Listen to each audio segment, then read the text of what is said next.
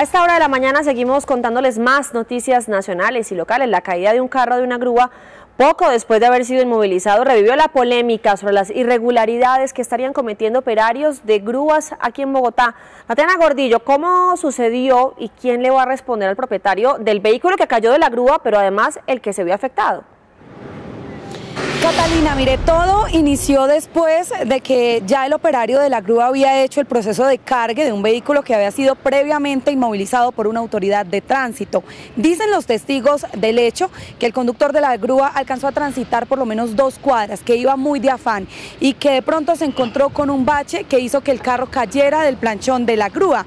Pero lo más grave es que como ustedes lo están viendo en este momento en un video que aparece en pantalla, el vehículo no solo resultó dañado por caer del planchón, sino que además cayó encima de otro carro que no tenía absolutamente nada que ver con esta situación. Por eso nos acompaña el comandante de la Policía de Tránsito de la zona norte de Bogotá, capitán, muy buenos días.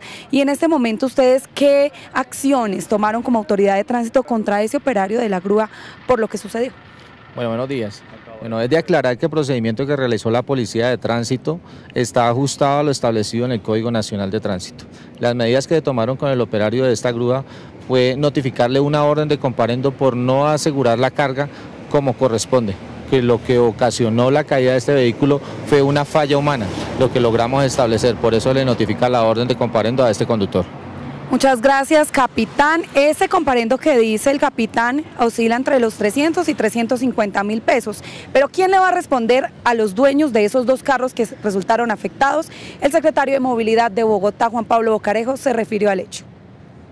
Hay una serie de responsabilidades que tiene el concesionario de grúas y si se genera el daño a algún vehículo en la operación misma, eh, pues claramente ellos deben responder, ellos deben tener una serie de seguros que permitan eh, indemnizar a los, a los propietarios de los vehículos afectados.